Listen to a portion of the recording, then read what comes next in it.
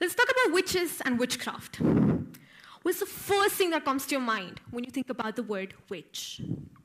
Most of you might think of an old crone with a long pointy nose, someone who wears loose black clothes and a long pointy black hat, someone who makes bubbling potions made out of questionable ingredients and flies around on a broomstick, laughing like a maniac. The others might think about those attractive cosplayers that you find on the internet. When you look up the term witches on the internet, you might either stumble across a Wikipedia article talking about the movie Witches starring Anne Hathaway, or you might stumble across a page that refers to witches as a mythical creature. What if I told you that witches weren't mythical or fictional after all? What if I told you that witches exist among us right now at this very moment? What if I tell you that you're looking at one right now? Do not panic. I'm not going to sacrifice any of you to Satan today. I am here to clear this misconception regarding witches and witchcraft. So, what are witches? What am I? How does one become a witch? Witches are normal human beings who live their lives just like an average human does. Witches or pagans are generally those who do not follow Christianity and practice witchcraft. We aren't evil, cruel beings as we're usually portrayed to be. I personally like to identify as a soul who was reincarnated as a human in order to serve a purpose for my earth and fellow creatures. Now, to answer the question about how one can become a witch, the answer is quite simple. You just become one. Anyone can become a witch. You just need to identify as one, relate with the ideologies and beliefs, and follow the basic rules of witchcraft. So, what are these rules, one may wonder? There's only one important rule that exists that you must remember. This rule is called the law of three. It's more of a reminder than it being a rule. This rule states that whatever energy that you put out into the world will come back to you multiplied by three. That is, it will strike you back with thrice the intensity. So if you're doing something positive for yourself or someone else, the same positive energy will strike you back with thrice the intensity. Whereas if you're doing something negative or doing harm unto others, the same negative energy will strike you back with thrice the intensity. The individual can then decide what to do and how to act based upon this rule. There aren't any restrictions imposed by the religion as such. Modern witchcraft is a green religion. That means it is an earth based tradition. As witches, we work along with the nature and the earth in order to better ourselves and the lives around us. We work along with the cycles of nature and the seasons. We're also very careful about our impact on the ecosystem, and we try to do the least amount of harm as we can as we go about with our lives. We cannot talk about witches and witchcraft without talking about magic and spellcraft. Magic is real too, but just not in the form or way that you think it's like. I'm sorry to disappoint you, but I cannot turn humans into toads or vice versa. Magic works on the principle of the law of attraction. Now, I do not know if you've read this book, but The Secret is a pretty famous book that you can find on the shelves of almost every bookstore out there. So, this book was what introduced me to this principle for the first time. So, in a nutshell, this book spoke about how the universe will give you anything you want as long as you manifest it the right way. Now, when I read about this concept for the first time, I was a little skeptical. All I had to do was ask. That's it. It just seemed too good to be true, so I dismissed it and moved on. A few months later, I stumbled across this other book called The Power of Your Subconscious Mind. Now, this book spoke about how I could change aspects about your life, your personality, and even your physical features by training your subconscious mind. Now, this book seemed more believable as it was more scientific in its approach. But as I continued reading this particular book, I realized that the concept discussed in this book was a lot similar to that discussed in The Secret. Both books spoke about changing aspects about your life and your personality in ways that you never thought you could. The Secret spoke about this along the lines of universe, while the power of your subconscious mind spoke about this along the lines of training your psyche. I also realized how I was wrong about the secret not being scientific enough. I just had to read the lines more clearly. The secret spoke about the universe as this all giving energy. Energy. Science talks about energy. Energy can neither be created nor be destroyed. It was all about this energy that we gave out, and this was what we would attract. And this is also where we go back to the law of three that I discussed earlier. Now, this law is mainly applied when you cast spells or perform rituals. How do you cast a spell? I'll tell you. So, what us witches do is that we channelize energy from within ourselves and our surroundings in order to manifest what we want. A lot of witches use crystals, stones, and herbs in order to channelize this energy better. Now, this energy could either be positive, that is, to pass on love and warmth to someone else, to cleanse a space, or to heal or protect oneself. Or it could be negative, that is, to bring someone else down, to destroy someone's life, to use it for one's own advantage by, by bringing someone else down. Now, these kind of negative energies that are used in spells, like curses, are called hexes or kala jadoo as it's called in Hindi. I hate to break a little bubble about hexes not being real, but it does work. A lot of people in India practice tantric magic, and these rituals often involve life and blood sacrifices. Earlier this year, a seven year old girl was sexually assaulted and had her liver stolen away from her for human consumption as a part of a tantric ritual in Kanpur, Uttar Pradesh. A seven year old, a 14 year old boy sacrifices a seven year old neighbor as a part of a tantric ritual in Bengal. A single divorced mother burned her eldest son by burning him with ghee and other spices. And it was because of these rituals that witchcraft has a negative stigma attached to them. However, according to the rule of three that I discussed earlier, if you use hexes onto someone else, you will be met with more destruction than you meant to cause upon the other person.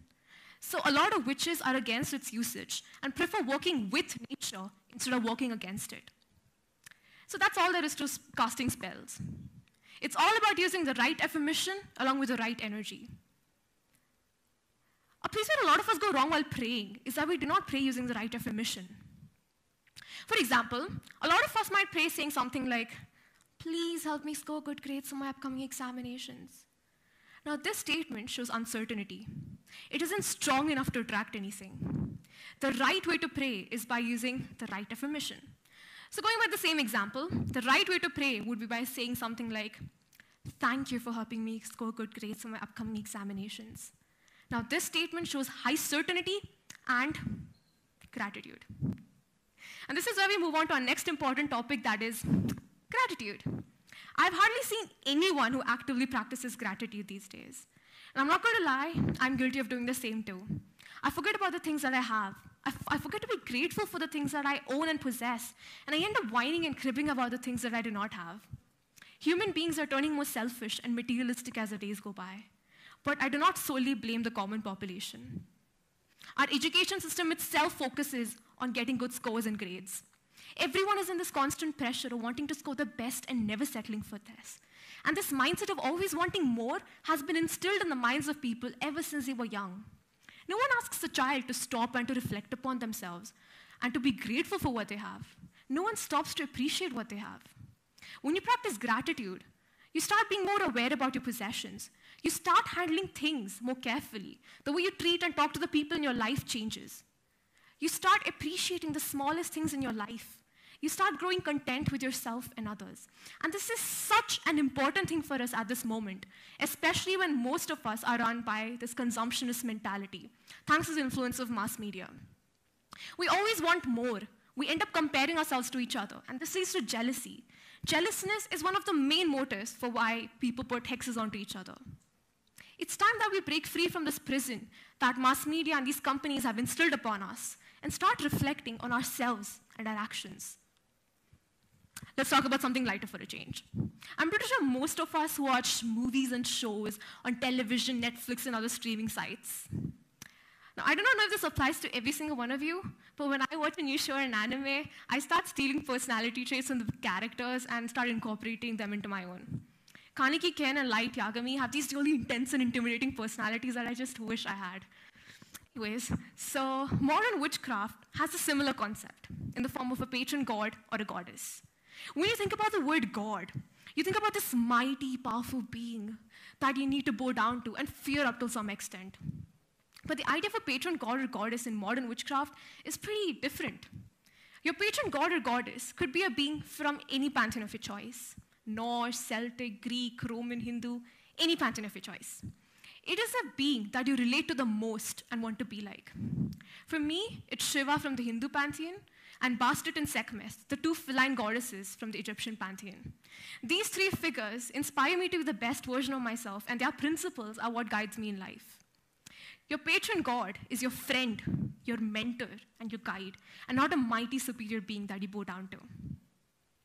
Modern witchcraft also tends to personify non living elements of the earth in human form. For example, the earth and the moon are seen as goddesses, while the sun is seen as a god.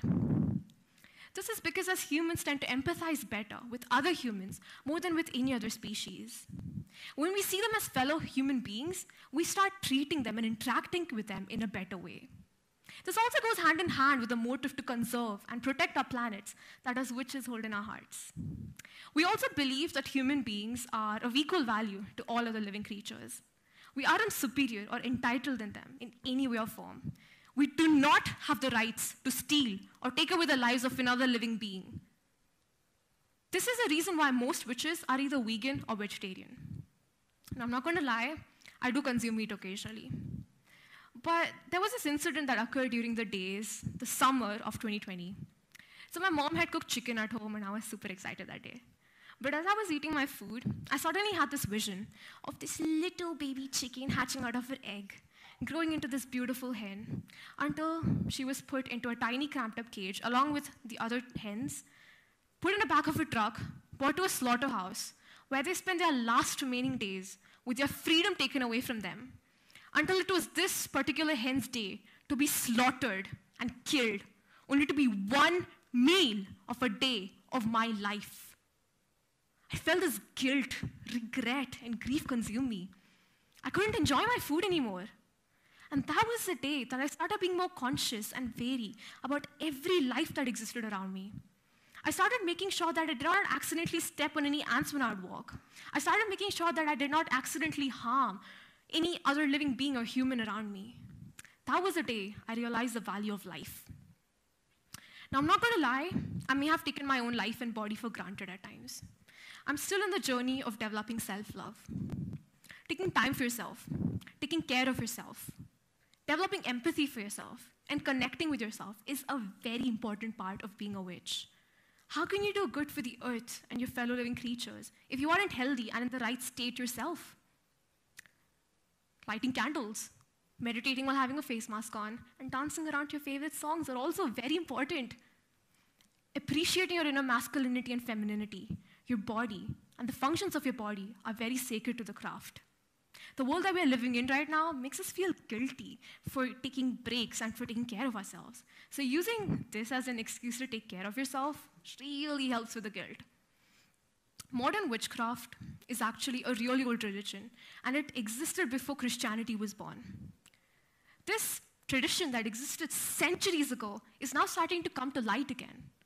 0.4% of Americans, or 1 to 1.5 million people of this earth, identify as a witch. Because this is what we need in order to start taking care of ourselves, our environment, our fellow living beings, and human beings, of course. Our earth is dying. Humanity is losing its true essence. It's time to start reevaluating our current systems and beliefs. This is our chance to change, to evolve, and to ascend. Thank you.